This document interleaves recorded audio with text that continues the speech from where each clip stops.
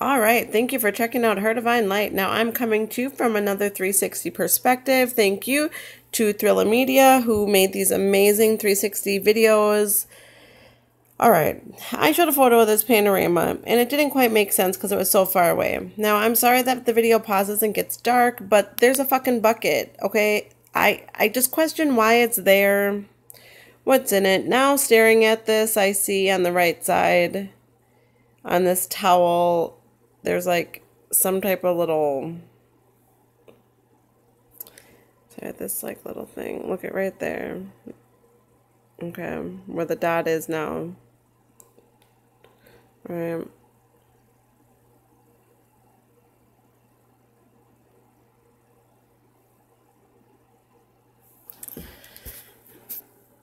this is amazing.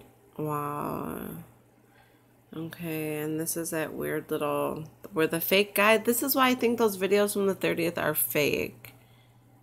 And they just got sloppy as usual. Huh.